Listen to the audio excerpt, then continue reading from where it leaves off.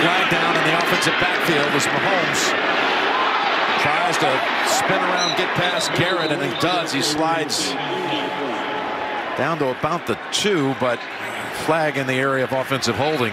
Yeah, I mean, it's really Holding. good job. Offense number 62. 10 yard penalty. Replay second down.